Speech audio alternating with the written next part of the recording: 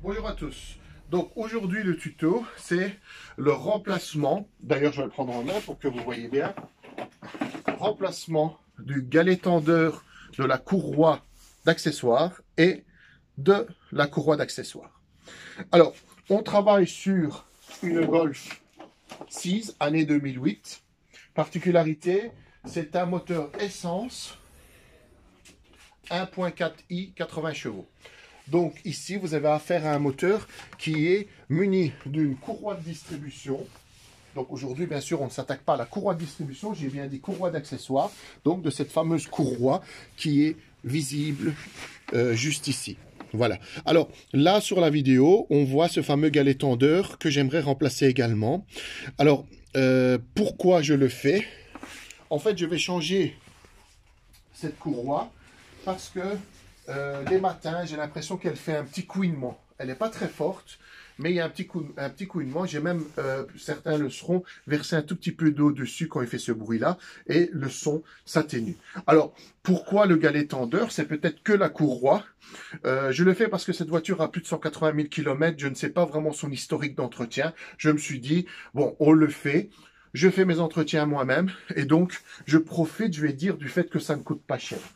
Donc, l'avantage, c'est que, euh, par exemple, une courroie, ça coûte dans une dizaine d'euros. Et je veux dire, le kit avec le galet tenteur, on est dans les 40 à 50 euros. C'est pas une somme énorme, surtout qu'on le fait soi-même et qu'on aurait fait faire ça à un garage, ça aurait coûté beaucoup, beaucoup plus cher.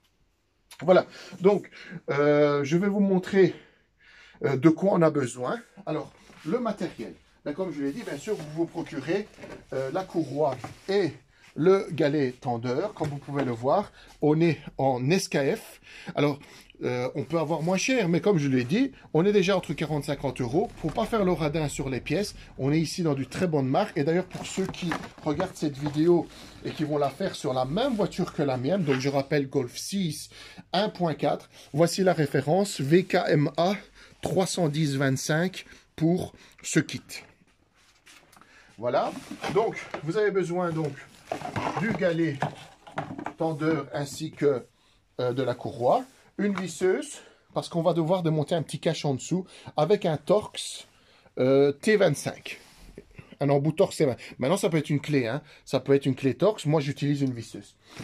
Tout ce qu'il faut pour vous éclairer, et en fait, j'utilise deux clés, deux jeux de racanel pour pouvoir utiliser qu'une. Une de 16, mais plus un, assez gros calibre pour euh, ouvrir le galet tendeur et retirer la courroie douille de 16 et Aracagnac avec une petite rallonge. Et là, on est en 13. Voilà ce qu'il faut pour aller en dessous de la voiture. Alors, la voiture a été, comme vous pouvez le voir, surélevée. Alors, vous pouvez utiliser des crics.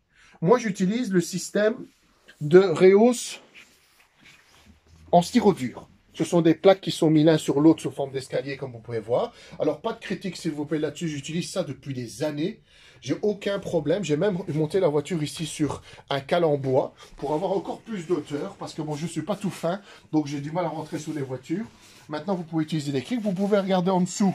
J'ai sécurisé, je vais tenir une lampe. J'ai sécurisé avec un jeu de chandelle juste au niveau de, en dessous de la voiture. Et enfin, afin que la voiture ben, ne glisse encore plus à l'arrière, j'ai mis un système de rampe ici. D'ailleurs, vous pouvez utiliser ce genre de rampe métallique pour lever la voiture.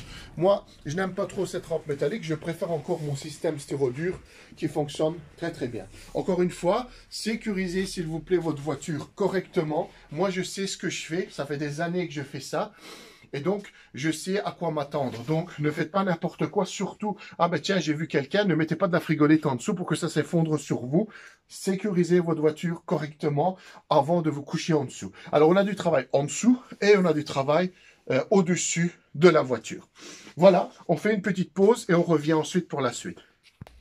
On va commencer par le premier exercice qui est en fait de sortir la courroie. Donc ce tuto en fait, ce début de tuto, pourrait servir simplement à comment fait-on pour remplacer une courroie d'accessoires sans le galet tendeur. Donc, pas besoin de surélever la voiture, il n'y a rien à faire. Vous ouvrez vos capots et vous faites ce que je fais. Donc, là maintenant, on va penser comment fait-on pour changer une courroie d'accessoires. Donc, je reprends mon kit que j'ai commandé sur le net. et je me mets à côté de la voiture avec mon ma douille de, de 16. Donc mon racagnac avec douille de 16. Ce qu'on va faire donc c'est travailler directement ici. Donc la caméra, là, juste là, il y a une vis. Je vais essayer de tenir ça correctement. Voilà. Là, vous voyez la vis qui se trouve juste ici. C'est une de 16. D'accord? Donc, on va bloquer et on va y aller comme ça. Alors, vous devez mettre en mode serrage. D'accord? Et vous allez faire comme si vous serrez cette vis. Et vous allez voir, la courroie va se détendre. Avant tout, vous analysez exactement le trajet que parcourt ce, cette courroie. Comme vous voyez, il y a une poulie ici, poulie de vibroquin, galet tendeur, poulie d'alternateur, et là en bas, la poulie de la climatisation. Alors on regarde ici, j'ai dessiné ça sur un carton, pour pas me tromper, vibroquin, la poulie qu'on a envie de changer, euh, l'alternateur et la poulie de climatisation, et on sait le trajet que cette courroie doit prendre. Une fois qu'on l'a démonté, au moins on sait comment faire. Alors je reviens ici sur le moteur. Il y a des gens qui vont aller démonter le cache qui est là. C'est-à-dire ici, le fameux cache qui se trouve, le garde-boue on va appeler, donc qui se trouve là. Alors vraiment c'est pas nécessaire parce que le parcours de cette, de, cette courroie n'est pas vraiment très euh, difficile. En plus on a une belle vue au niveau du moteur. Donc, on va pas hésiter à le faire. Donc, comme je l'ai dit, on s'arme de, du, du racagnac de 16. On se met en mode serrage, donc dans le sens euh, horaire. Et je vais placer ma clé. Voilà. Ma clé est passée, comme vous voyez, juste ici. Sur la vis donc de voilà du tendeur. Alors je vais donner une pression. Voilà. Alors on voit on voit la, la poulie. Donc je vais donner un petit coup plus fort. Voilà. On voit le la courroie se détendre. Alors, il faudrait que je donne un coup de clé voilà. Je n'ai pas assez de, de recul.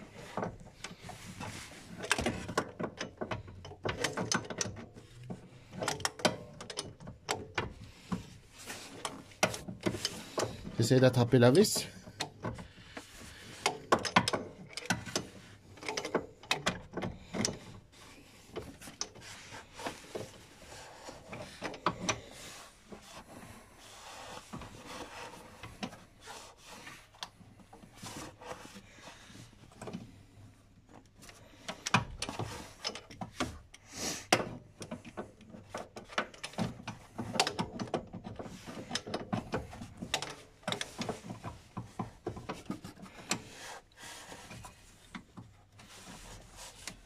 Voilà. On regarde encore sur la courroie. Donc en faisant ça, vous voyez que la courroie se détend complètement. Et on passe les torsions en tension. Et on glisse. On voit ce que je fais là, oui. On glisse la courroie. Ici, bon, je le fais via, via la, la poulie de... Je lâche tout doucement. Alors comme ici, voilà. Donc je lâche et donc la courroie est complètement... Euh, est complètement sorti. Donc, comme vous pouvez le voir, je l'ai là en main. Voilà. Ok.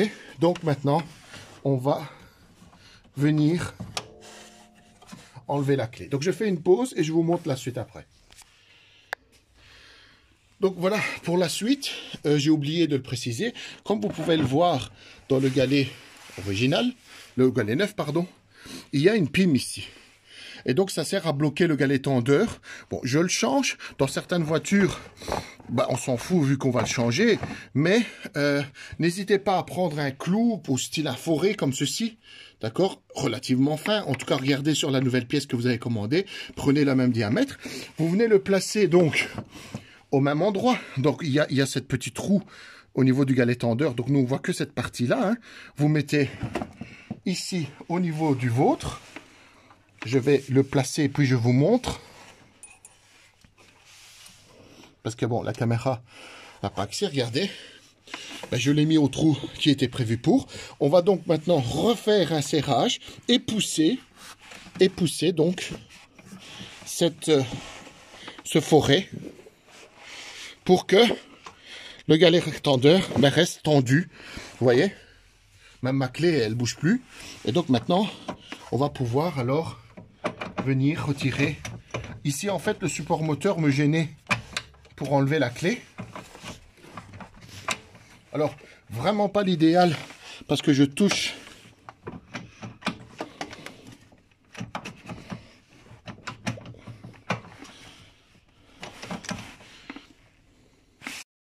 Donc voilà, on récupère donc euh, notre Racagnac de 16. Donc si vous avez un équipement qui est légèrement plus fin, c'est plus facile parce qu'ici je cogne sur, cette, ce morceau et je dirais euh, ça nous gêne un petit peu dans ce qu'on fait. Alors, voilà la courroie en question que j'ai envie de changer. Alors une chose, euh, que vous devez faire attention, enfin en tout cas on préconise, ayez toujours les écritures vers vous quand vous êtes, vous voyez le moteur, que le moteur est en face de vous, d'accord? Donc vous, les écritures en montage vers vous, moteur devant, d'accord? Donc analysons un petit peu la courroie, bon elle est un petit peu striée comme vous pouvez le voir ici sur le long, et là, non là elle est, elle est correcte, donc elle était loin d'être euh, en mauvais état, donc ce qui pousse à dire que peut-être cette courroie a déjà été changée, ici, j'ai une cassure, regardez. Vous voyez, une nette cassure. On la voit bien. Ici. Alors, je l'abîme pas. Je l'abîme pas. Surtout, n'abîmez pas vos courroies. Parce que celle-ci, d'accord, elle n'est pas en très bon état. Mais mettez-le dans votre coffre, à côté de vos outils. Et vous l'utiliserez au cas où votre courroie est amenée à casser pour telle raison. Vous avez ça, on va dire une courroie de secours avec vous. D'accord? Donc, euh, je vous ai montré comment faire pour, euh, euh, comment je vais dire, changer, enfin, en tout cas pour enlever une courroie. Maintenant, celui qui, qui veut s'arrêter à ce stade-là, celui qui veut s'arrêter à ce stade-là, eh bien, il peut tout simplement remettre la nouvelle en suivant ce schéma-là. Donc, soit vous allez, euh, vous avez compris, vous continuez, sinon vous revenez vers la fin de la vidéo et je vous montrerai comment on fait pour continuer. Maintenant, moi, ce qui m'intéresse, c'est enlever ce galet. Alors, pour enlever le galet, il va falloir euh, aller en dessous de la voiture et travailler par le dessous. Alors, il y a moyen d'aller démonter, venez ici, d'aller démonter l'alternateur, parce qu'en fait, comme vous voyez, le galet tendeur, il est là, mais il se visse par l'arrière. Regardez. Il se visse par l'arrière. On n'a absolument aucune vue de cette partie-là. Donc, on pourrait démonter l'alternateur, mais ici, j'essaye d'être dans un tuto facile. Et donc, on va essayer de le faire d'une manière différente. C'est pour ça que on a euh, levé la voiture. Et donc, on va passer par le bas. Donc là, on fait une pause et je prépare pour le bas. Voilà, pour la suite, maintenant, on va prendre ce qu'il faut ben, pour éclairer le bas de la voiture. On va prendre notre visseuse avec du Torx, euh, ce qu'on avait dit tout à l'heure, 25, et notre cliquet, donc avec une rallonge, une petite rallonge comme ça, et on est en 13. Et donc, on va aller maintenant derrière la poulie, le galet tendeur, pour dévisser en fait celle-ci. Donc, on met quelque chose au sol et on descend. Et je filme par le dessous de la voiture. On fait une pause. Voilà, on est en dessous de la voiture. L'idée, c'est d'enlever la plaque qui se trouve ici. Donc on a, ben, comme vous voyez, le moteur. Et donc c'est vrai que c'est un peu zoomé peut-être, mais en tout cas, on a les torques qui se trouvent là. Il y en a quatre. Et exactement les mêmes de l'autre côté, en voilà, qui part comme ceci. D'accord? Donc, j'y vais. La première,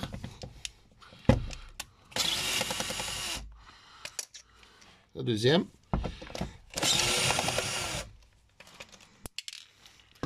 La troisième.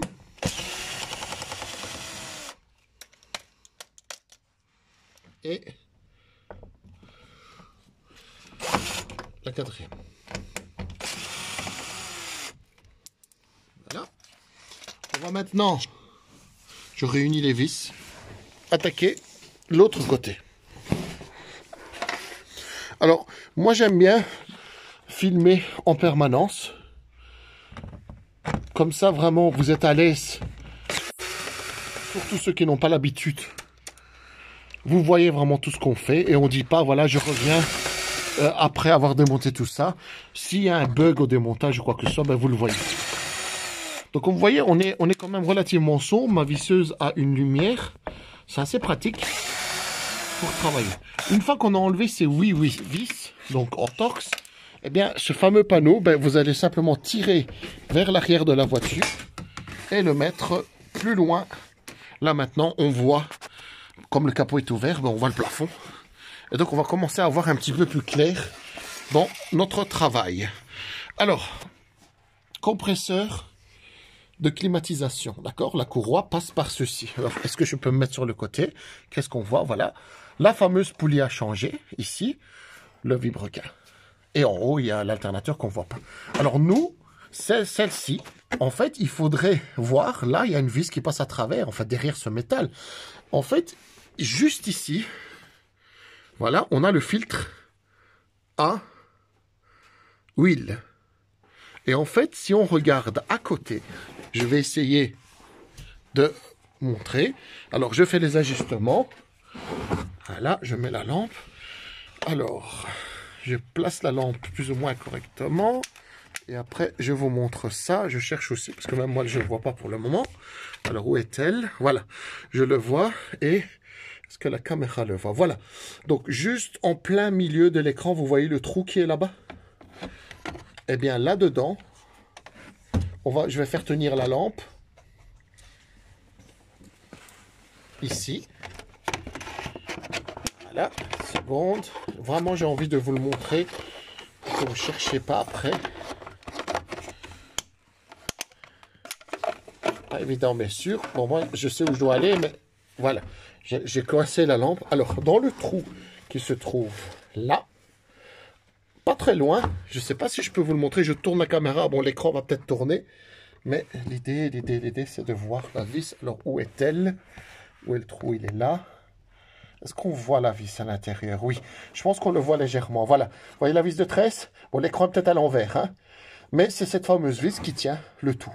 Donc maintenant, ce que je vais faire, eh bien, je vais mettre mon cliquet à l'intérieur de ceci. On est en mode desserrage, bien sûr.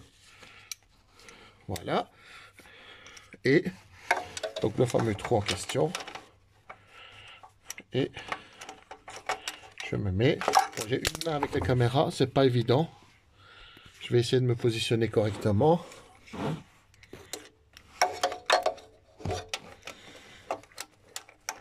Je replacerai la caméra, voilà.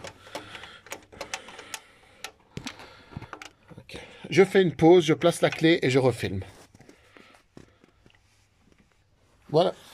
La clé est dedans et je dévisse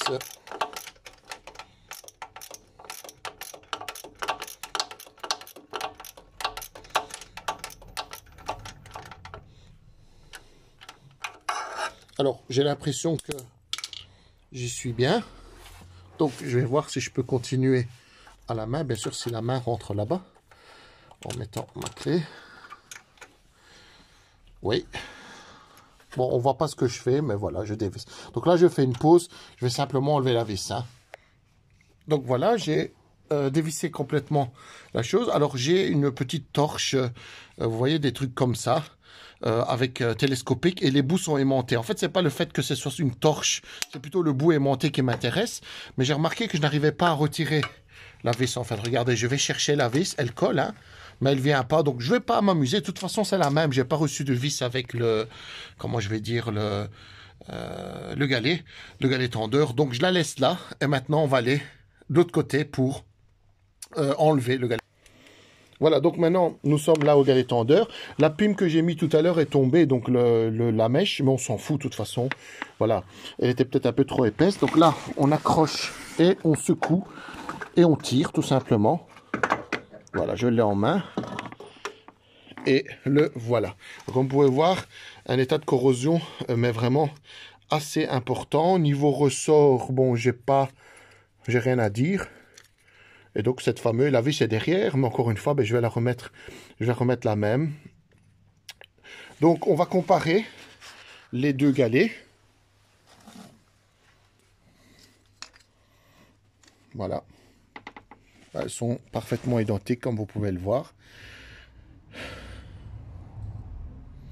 Je regarde vite fait. Voilà. Il n'y a plus qu'à la mettre ben, à sa place. Euh, et on va euh, continuer donc le montage, le resserrage. Euh, donc là, là vraiment, c'est relativement simple. Alors, il y a un sens, donc il n'y a pas moyen de se tromper. Là-bas, en fait, il y a... La, fente, en fait, est très particulière. Donc, je, il y a simplement à la présenter et à la tourner dedans. Elle va prendre, elle va rentrer tout seul. Voilà. Je regarde vite fait.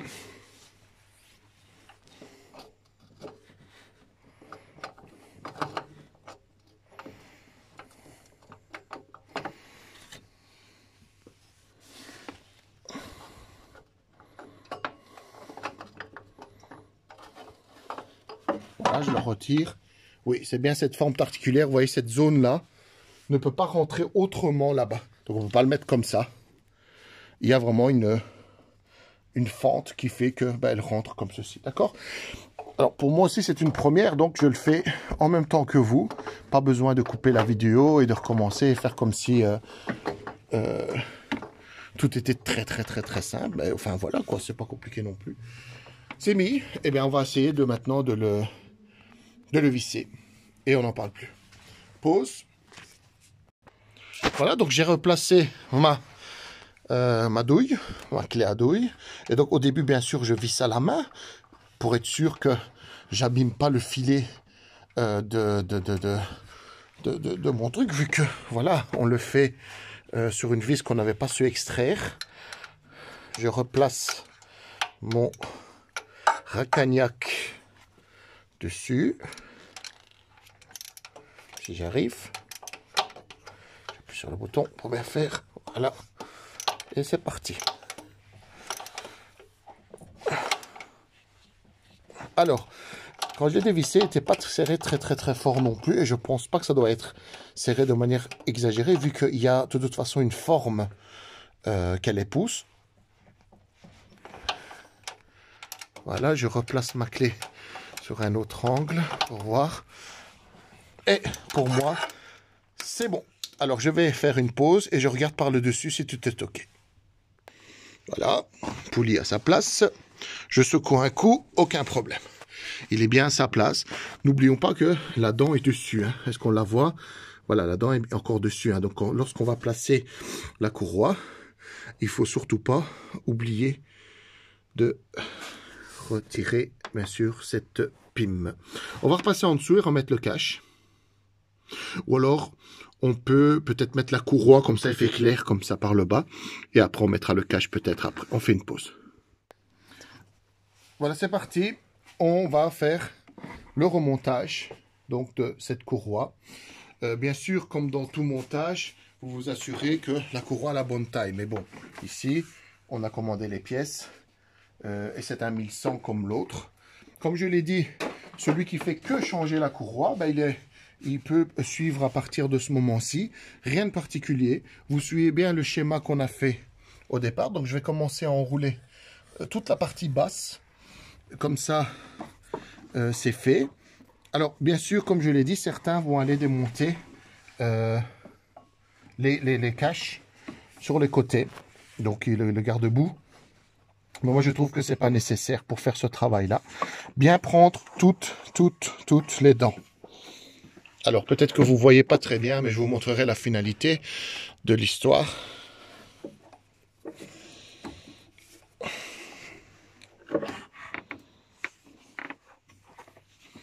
Je passe en dessous. Je passe en dessous pour placer les deux poulies du bas. Voilà.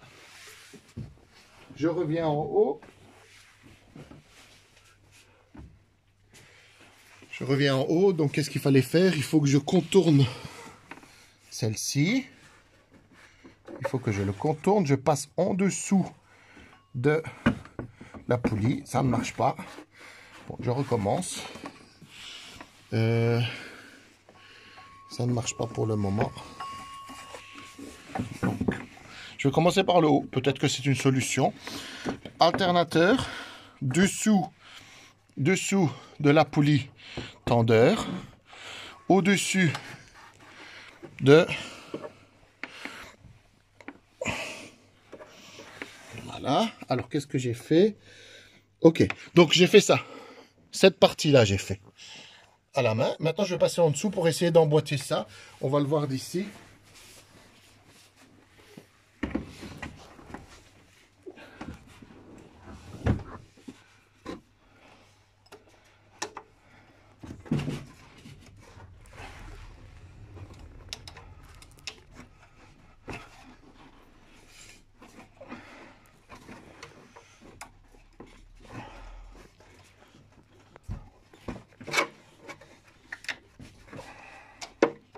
Alors, on va regarder en bas. Voilà, regardez. J'ai bien passé sur en plein milieu, donc il n'y a pas de dents décalées. On est au niveau de la pompe euh, de climatisation. On voit pas très bien, il y a des reflets. Ici, donc même chose, toutes les dents sont bien passées. Au niveau, donc c'est quoi ça? Du vilebrequin. Je remonte, Là, ici, au niveau de l'alternateur, toutes les dents sont bien mises, elle n'est pas décalée. Et là-bas derrière, au niveau du requin, même chose. En fait, il n'y a plus qu'à lâcher le, euh, la, la, poulie tendeur, le galet tendeur, à le lâcher, c'est-à-dire enlever la pime. Donc cette fois-ci, même chose, on va, c'est le même principe, on va le faire comme si on le tendait légèrement, donc comme si on le vissait. Alors je vais voir si je peux changer ça. Je fais une pause. Voilà, donc je vais, comme j'avais dit au début, je touche le plastique avec celui-ci. Donc, vous voyez, je suis vraiment ici. Donc, la même chose, hein, mais on gagne quand même, comme vous voyez, quelques centimètres. On travaillera beaucoup plus facilement. Soit vous trouvez un racagnac qui est un peu plus court, mais il est un peu embêtant celui-ci. Donc, il y a cette fameuse pime que je dois aller déloger. Donc, pour ça, je vais peut-être le faire par le bas. Et vous, vous allez le voir par le haut. On peut le faire par le bas sans problème. Je vais voir si je sais rentrer la clé. Alors, donc, la pime est juste ici. Et je fais comme si je serrais. Et je viens déloger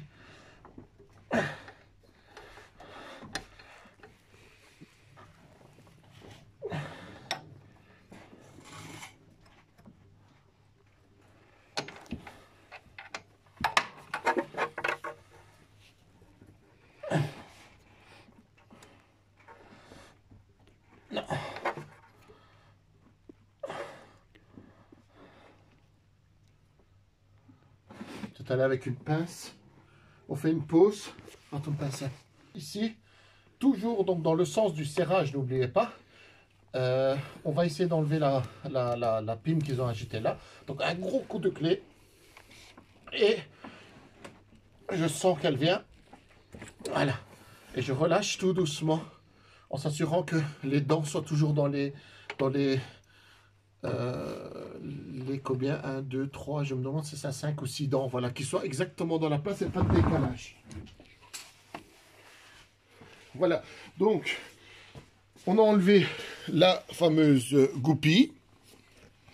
Et donc, comme vous pouvez le, voir, aucun décalage par rapport donc euh,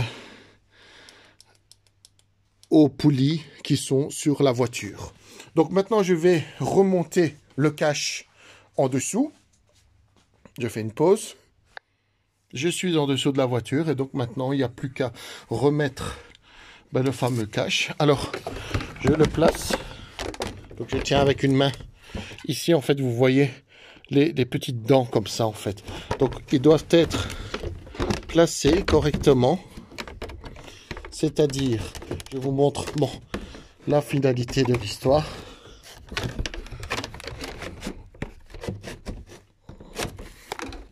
Ceci. Vous voyez?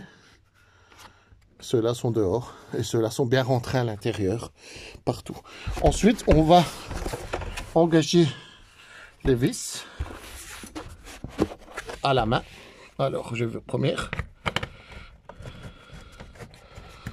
Ok. Deuxième. Où est-elle? Ici. Où est-elle? Où est-elle? Là. Donc encore une fois, vous allez dire, c'est pas de la haute précision au niveau de l'enregistrement, mais je le montre, donc je remonte tout, tout, tout, toutes les étapes que je fais. Alors bien sûr, je vais revenir avec la visseuse tout à l'heure, mais vous voyez absolument toutes les étapes que je fais. Il n'y a pas de raccourci, il n'y a pas de, de bug, euh, une éventualité dans laquelle vous aurez quelque chose, une surprise par rapport à moi. Euh, c'est exactement comme ceci que ça se passe. Voilà. Alors pour moi, c'est une première, cette poulie tendeur, ce poulie-là, ce modèle-là en tout cas. Et comme vous voyez, bon, avec un petit peu de patience, on sait le faire sans problème. Voilà. Je règle ma visseuse pour sa puissance, pas serrer trop fort non plus. Voilà. On est à deuxième. Troisième. Quatrième. Je change de main.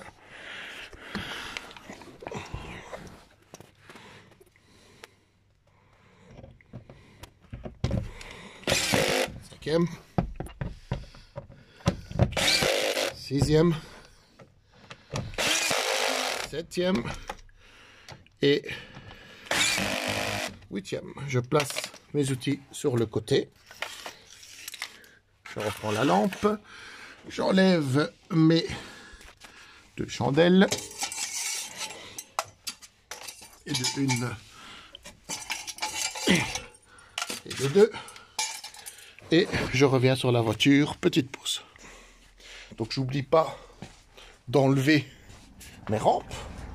Mes rampes que j'utilisais ici pour bloquer. Alors il faut savoir que la voiture bien sûr est en frein à main et avec une vitesse enclenchée.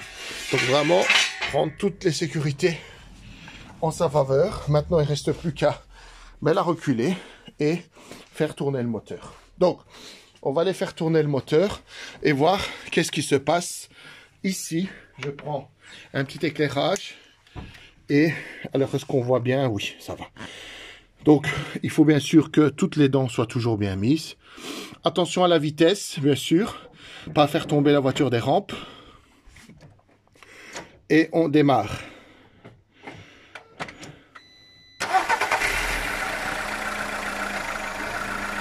Voilà, nickel. Le galeton d'or ne tremble même pas. Comme vous pouvez le constater, vraiment aucun tremblement. Pas de bruit suspect. Voilà, donc on va couper le moteur et descendre la voiture. Et ceci est terminé pour le montage de cette courroie d'accessoires avec son galet tendeur.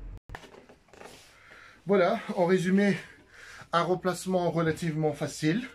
Euh, c'est vrai que l'accès en fait à la vis euh, qui se trouve ici, bah, il n'est pas non plus très très simple. Mais bon, comme vous avez vu avec euh, euh, un racagnac, une petite rallonge, il ne faut pas un outil particulier pour l'enlever. Simplement, il faut aller en dessous de la voiture. C'est vrai que c'est un peu euh, désagréable. Maintenant, je le répète, il y avait peut-être moyen d'enlever l'alternateur, mais bon, ici, j'ai envie de faire un tuto pour quand même que tout le monde puisse arriver démonter alternateur, c'est encore une option en plus, alors que aller enlever le cache en bas, ça c'est quand même plus simple, je trouve. Et surtout, si maintenant les gens qui m'observent font déjà peut-être des entretiens eux-mêmes, etc. Bon, de toute façon, ils savent relever la voiture, ou alors ils ont une fosse, c'est encore mieux, et ils peuvent aller sans problème accéder à la vis qui se trouve là-bas. Donc, voilà pour le remplacement donc de ce galet tendeur ainsi que de la courroie. Donc, euh, je vous remercie en tout cas pour euh, euh, avoir visionné cette vidéo jusqu'au bout. J'espère que vous aimerez. N'hésitez pas à cliquer sur j'aime, de commenter la vidéo, d'aimer la vidéo. Et on se retrouve à un autre tuto bientôt. bonne journée à tous et à bientôt.